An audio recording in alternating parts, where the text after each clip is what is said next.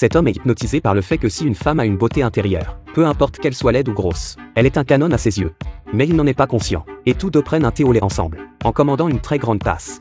Avant qu'il n'ait eu le temps de le savourer, en un clin d'œil, le thé a disparu. Par la suite, ils sont tous les deux en train de ramer et tout le monde est normal. Martin était le seul à flotter dans les airs comme par magie. Mais il ne trouve pas cela étrange. Il s'en réjouit. Ils sont devenus un couple. Rosie l'emmène à l'hôpital où elle est bénévole. Martin ne comprend pas ses enfants et pourquoi ils ont si peu d'estime de soi. Il s'est déguisé en clown pour les divertir. Cela impressionne Rosie.